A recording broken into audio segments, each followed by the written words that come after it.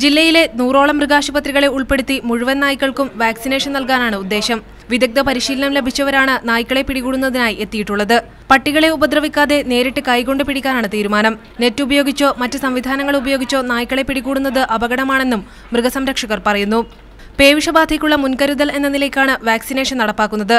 അൻപതിനായിരം പട്ടികൾക്ക് ഏഴ് ദിവസത്തിനുള്ളിൽ വാക്സിനേഷൻ നൽകും.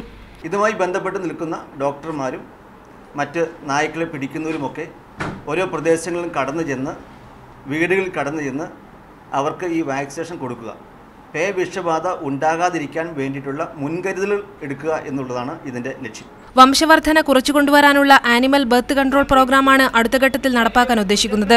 അഞ്ചു വർഷത്തിനുള്ളിൽ നായ്ക്കളുടെ എണ്ണത്തിൽ കുറവ് വരുത്താൻ എ ബി സി പദ്ധതി നടപ്പിലാക്കുന്നതോടെ കഴിയുമെന്ന് ഹ്യൂമാനിറ്റി ഫോർ ആനിമൽസ് പ്രവർത്തക രഞ്ജിനി ഹരിദാസ് പറയുന്നു.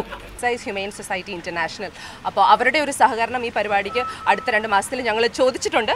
അത് പഞ്ചായത്ത് ഓക്കെ പറയുകയാണെങ്കിൽ അധികം വേഗാതെ തന്നെ എച്ച് എസ് ഐ എന്നൊരു സൊസൈറ്റീനെ ഇവിടെ കൊണ്ടുവന്ന് അവർ ഈ ഫുൾ വാക്സിനേഷനും അതിന്റെ കൂടെ തന്നെ സ്റ്റെറിലൈസിങ്ങും. ഇന്ന് ഞങ്ങൾ ആ പ്രപ്പോസൽ സബ്മിറ്റ് ചെയ്യാൻ പോവാണ്.